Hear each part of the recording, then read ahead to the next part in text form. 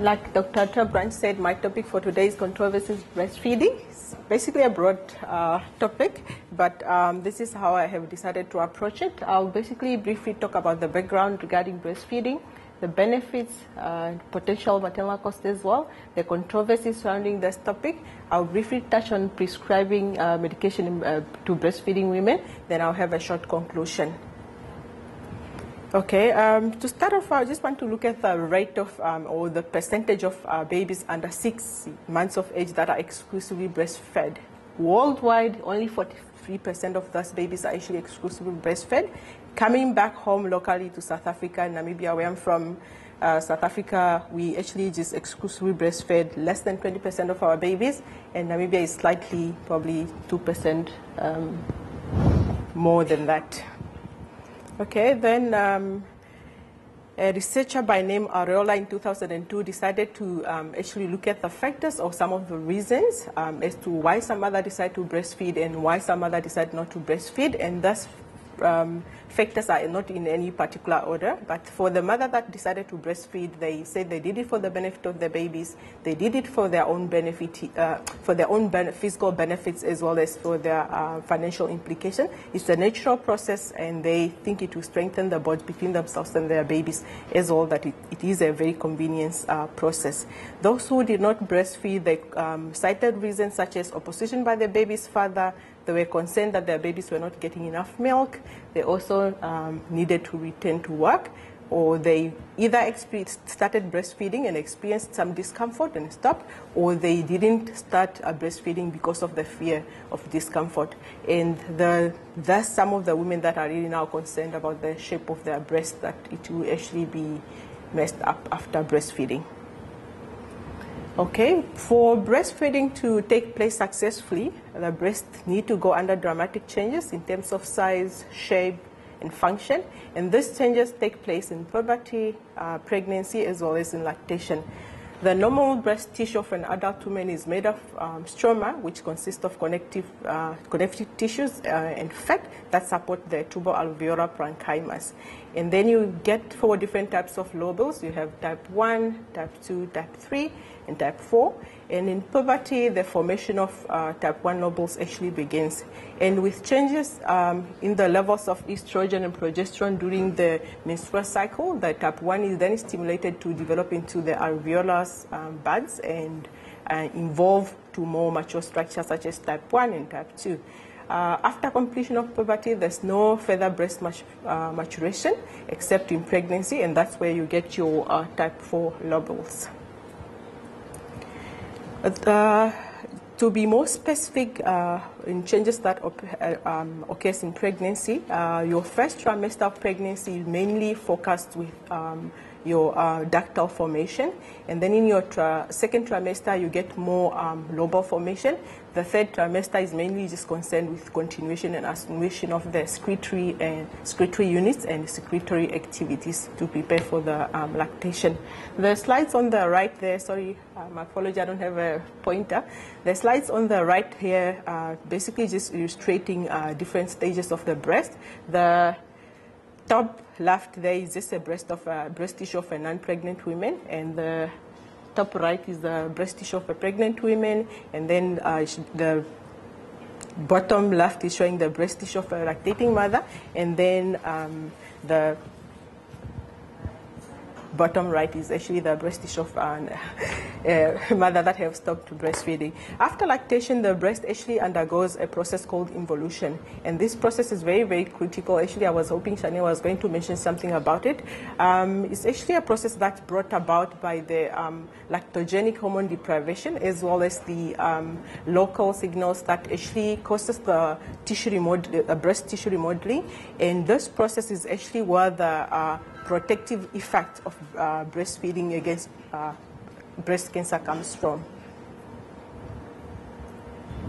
Okay, over and over again, the uh, breastfed, uh, breastfeeding have actually been associated with uh, uh, benefits for both the mother and the babies.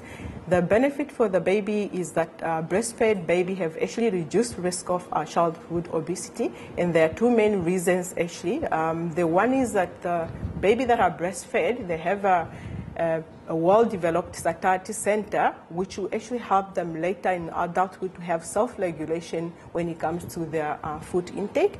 And the second reason is that um, there's a lot of um, hormone called leptin in the uh, breast milk. And uh, leptin does have influence on the adiposity, and that actually helps to um, actually um, prevent or reduce the risk of obesity. It's noted that breastfed baby have high IQ scores. They're more like less likely to get sick because they have uh, improved gastrointestinal function and uh, a better host uh, defense system. And they also have a better smile because they're less likely to get uh, malocclusion. And because we know that breastfeeding is a very uh, caloric, uh, costly exercise, um, it will actually help the mother to lose weight easily after pregnancy. And over and over again, um, even Chanel have mentioned it, breastfeeding does have protective effect against breast cancer, ovarian cancer, and endometrial um, CA.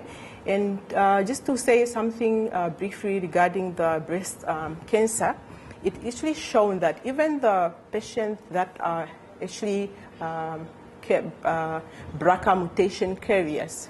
If they breast for a very long time, the chances of developing breast cancer is actually reduced. And this is more specifically with your BRCA1, but it cannot be said for uh, BRCA2 patients. Okay, the protective effect of breastfeeding in ovarian cancer is mainly with your ovarian epithelial ovarian uh, cancers, and it has also shown that um, breastfeeding does also actually improve the survival rate of this uh, patient in case they have developed um, ovarian CA. Okay, they also noted to have reduced risk of metabolic syndrome, breastfeeding mother tolerate um, stress much better compared to the uh, non-breastfeeding, uh, non-breastfeeding mothers. They also have low rate of postpartum depression because the baby get sicker, fewer um, or more, less likely to get sicker. They have uh, fewer medical bills to deal with and they are less absent from work. And we should not forget the uh, contraceptive effect of uh, breastfeeding. Okay, um, just like with anything else in life, there's always a downside to any to most of these things. Uh, breastfeeding also have potential costs, um, costs to the mother. Um, in terms of the physical cost, um, these mothers, especially the first 10 days when they initiate uh, breastfeeding, they might experience some discomfort. And we know very well this is basically due to either poor latching techniques or inappropriate positioning of the baby and can be easily solved by thorough counseling and um, uh, professional uh, assistance. And uh, on another note is that um, breastfeeding, we know that it does lower the, um, um the estrogen levels, and that will actually then uh, lead to um, symptoms and signs of dry vagina, and that might actually have impact on the sexual life of the women and their partners as well. In terms of labor and economic cost, is that um, breastfeeding is a, a time um, it, it, needs commitment. It's actually a process that needs time commitment, and uh, for that, for those reasons, we can actually look at this uh, labor and economic factor from the uh, women's side as an employees and the employer. The employer actually, uh, if she or he didn't have, or his company didn't have provision for the, uh, such a space or uh, fridges, or he does his that type of work does not allow a woman to take break to express or breastfeed. That's also um, actually a problem. And uh, for women herself, if, she happen to work in an environment that does not support uh, breastfeeding, she's more likely to be perceived as a, a less competent or a, a, person who is not taking her job seriously because she need to take those regular breaks to go express or breastfeeding. That can actually um, um, then lead to a woman not being promoted or hired um, by the next company.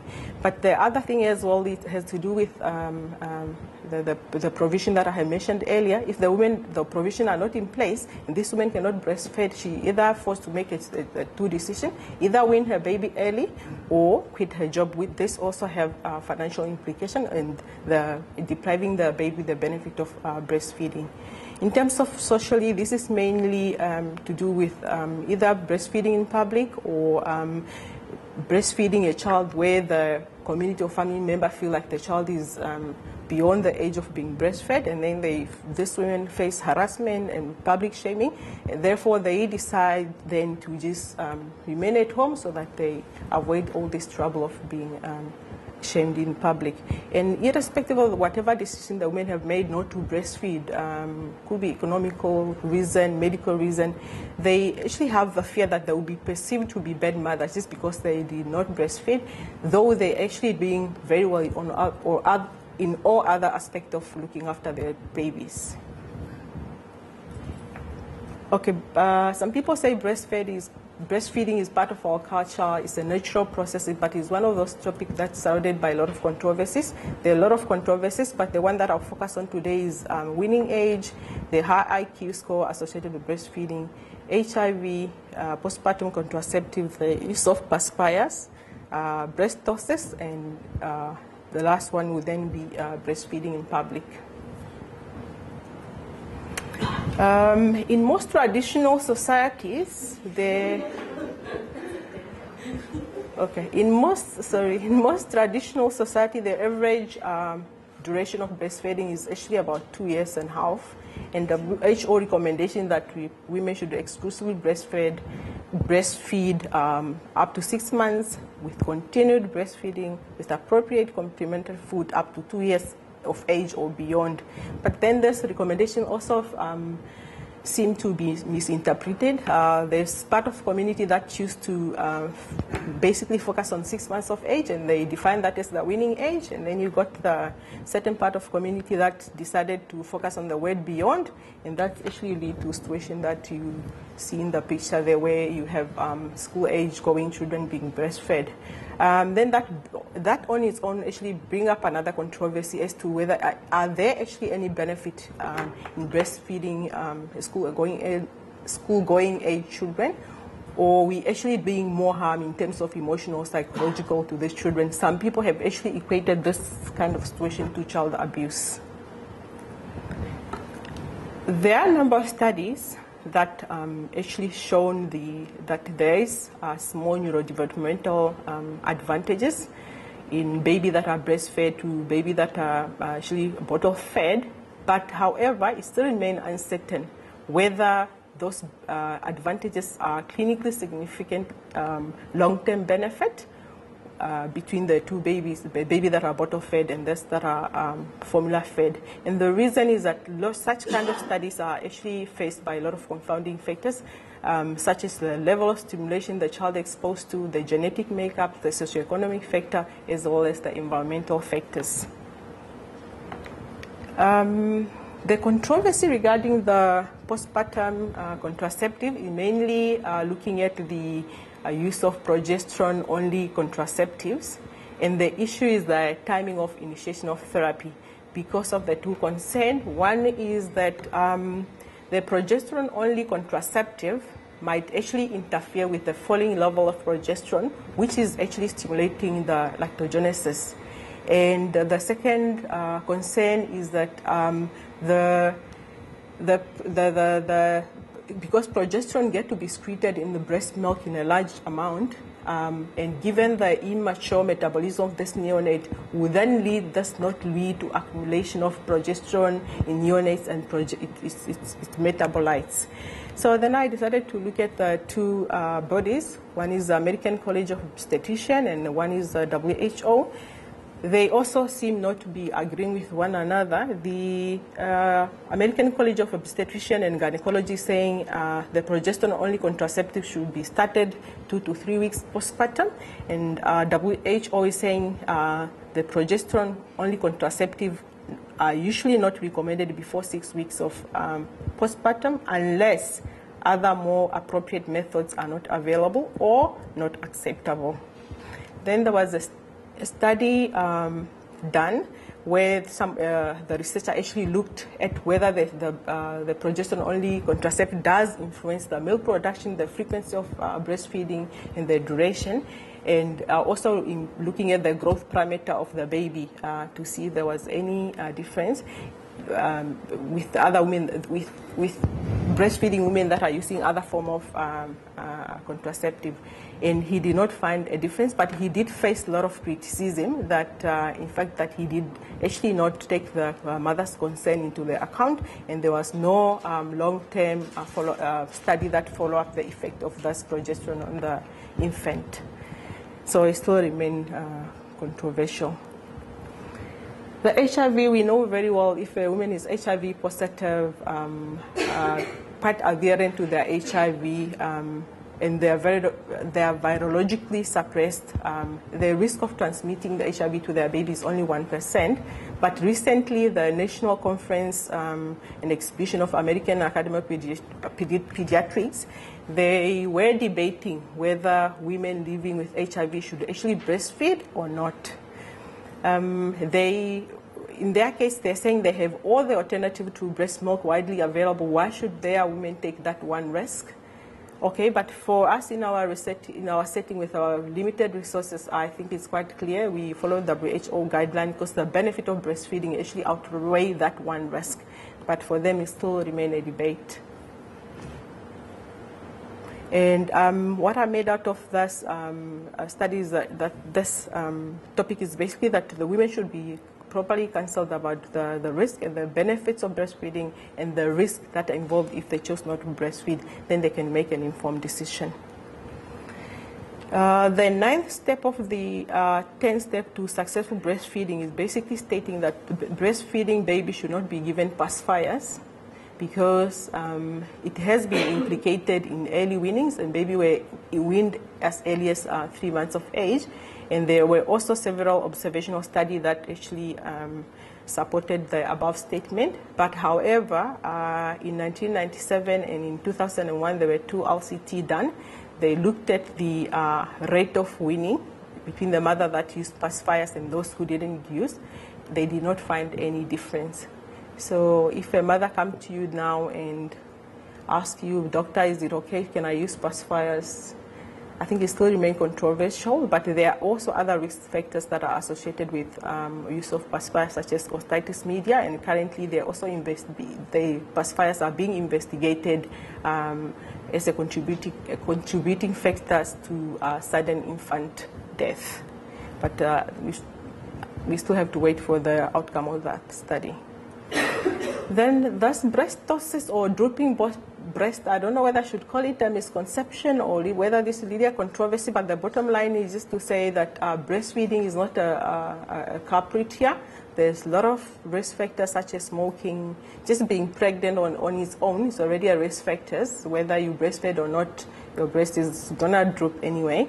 Uh, gravity, body mass index, um, larger uh, size, cup size, and uh, either have a significant weight loss or um, significant weight, uh, significant uh, weight loss, and uh, your age as well. So, but definitely not breastfeeding. Okay, we should um, show our patient in that um, method. And then I decided to look at then um, what what are the laws saying now in terms of breastfeeding in South Africa. Uh, fortunately, we can breastfeed anywhere in South Africa. Um, and the, when it comes to work, the basic uh, conditions of Employment Act actually stipulate that employees are allowed two 30 minutes break each day to allow for breastfeeding or expressing. And those breaks are actually mandatory for the first six months of the child's life. And then they realize, oops, um, we put all these nice laws, they can breastfeed anywhere, but these women are actually facing discrimination and harassment when they breastfeeding in public. Then they are now busy drafting a bill to a, a, bill called breastfeeding and related matters to ensure that women are protected against this discrimination. Um, we have heard of the very good benefit. The evidence have proven it over and over that breastfeeding is actually a very good thing to do, but um, breastfeeding in public is still such a controversial topic. And um, I tried to find out the reason as to why it's still such a controversial topic, but um, some people said we should uh, blame it on certain cultures or most of the cultures where uh, people choose actually to see the breast as a sex organ and completely forget the feeding function of the breast. And um, people are complaining that they're very embarrassed in public. Um, they're very embarrassed. They don't know what to do when they see a breasting, uh, woman breastfeeding in front of them and they say they're very disgusted by the thought of the bodily fluid that um, seen during the process. Mother themselves has also been uh, blamed that they not covering up when they're breastfeeding, and the initiatives that actually promote breastfeeding seem to uh, be more focusing on the health system than the rest of um, the community. Okay, because of the uncertainty regarding the drug safety in public um, in breastfeeding, uh, most mothers actually uh, stop breastfeeding. It's actually for that reason I decided to um, touch on the prescribing in breastfeeding. Um, when we're prescribing in uh, medication to breastfeeding women, we should actually weigh the benefit and uh, um, risk, and we should consider the following risks, uh, the following factors, such as the need for the medication, or if there's actually any other alternatives, the potential um, effects of the drug on the milk production, the amount of drug excreted in the human milk, the extent of oral absorption of, uh, by the breastfeeding infant, the potential adverse effect, as well as the age of the infant. But as you see, those are a lot of factors to actually want, for one to remember, and a whole lot of medication. So as I was preparing for the talk, I have come across those useful and user-friendly uh, resources. One is um, LactMed. Uh, WHO also have some resources on breastfeeding. There's Mother to Baby, and I think this is part of the National Institute of Health, as well as the American Academy of uh, Pediatrics. These resources are actually regularly updated with evidence-based uh, information. We can also also refer our patient to use such resources. Um, I think I'm almost done. So from, um, I just have a few points to say that uh, breastfeeding, um, a, a, decision to breastfeed is actually a very complex one. It involves uh, social, psychological, and emotional factors. Uh, we shouldn't just tell the mother the breastfeeding is the best, otherwise the, they will breastfeed just to make us happy. We should individualize our counseling um, in terms of breastfeeding, and more interventions are actually needed from all the stakeholders. The national level have responsibility to, share, to ensure that they have registration and policies in place and make sure that they're also implemented to uh, promote breastfeeding. At the health system level, we are actually advised to adhere to the baby um, friendly hospital uh, initiatives and as well as have uh, ongoing continuous uh, professional development um, in our facilities so that we keep ourselves updated with evidence-based information. At a community level, structures such as um, support group, mother-to-mother support groups, um, um, home visit by a breast, uh, breastfeeding counselor can also actually um, help with the consents and promote breastfeeding. At any individual levels, we should actually advocate and communicate um, um, to our family, family members, friends, uh, colleagues about the um, advantages of uh, breastfeeding and give them the correct information. Um, yeah, and having said that, I think there was a certain individual in the state who decided she's going to advocate for breastfeeding. She then um, created an app called uh, Breastfeeding Tree of Life. Basically, you just take a picture of yourself breastfeeding, you go into the app, and then you make such a beautiful pictures. But like with I said there are a lot of controversy regarding breastfeeding. Even this AMP was a um, controversy. So bottle feeding mom, they also went ahead and created their own AMP. So yeah, that's the end of my talk. Thank you. Thank you very much, Helve. Um, do we have any questions for Helve? Ellery? Let me ask. Okay, wag net gou, laat ek net gou. Just wait. I don't know if it's the right word. Um, the um, drugs that promote breastfeeding, like um, fenugreek and um, there's some other off-label antidepressant mm. that people sometimes prescribe. Surprise. Yeah. Iglonite. Um, yeah, I can try and then you can. Uh, okay. Okay, thank you, Dr. Kluter, for the question. Uh, what I have actually come across when I was preparing for the um, topic in terms of the, the, the uh, medication to um, assist or facilitate uh, milk production, the, most of the medications that were used are actually um, antipsychotics and they actually um, there was no evidence before um, to prove that they're safe or not, but recently they actually say one that this medication have side effect on the neonates, is more especially the extrapyramidal uh, side effects, and as well as the neuro um, psychoneuro psychoneurodevelopmental uh, effects. So we should not use them at all.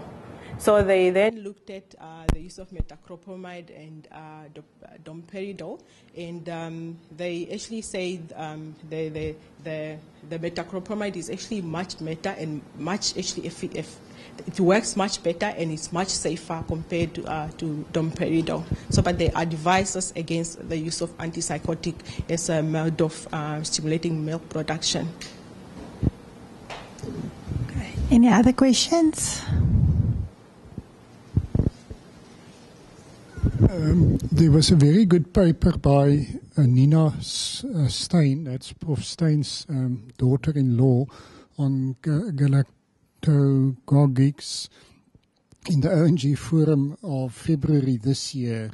Um, and uh, um, she wrote it together with Eric Leclue, who's the from pharmacology. And unfortunately, the safety of the galactogogics that's used uh, generally is not proven. Even metoclopramide, it's not proven. And and uh, according to um, the information they have, scientific information, it cannot be advised, which was quite a shock shock to me. Uh, just the second comment um, is um, uh, healthy. I thought there was evidence out that pacifiers actually reduce um, stillbirths. Uh, um, have any of you got information on that? The, and the argument was uh, stillbirths probably are caused by suffocation, and the, the pacifier can prevent that because it creates space for the baby to breathe.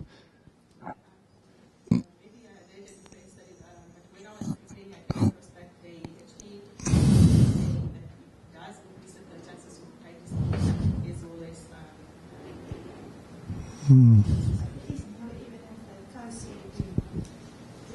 your risk of SIDS, not like what was believed before. Just repeat what you've said. So there is uh, evidence that co-sleeping, the breastfeeding mother and co-sleeping reduces the risk of SIDS.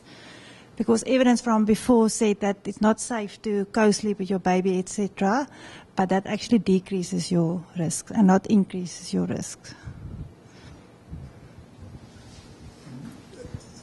Just a third third comment: um, HIV and breastfeeding.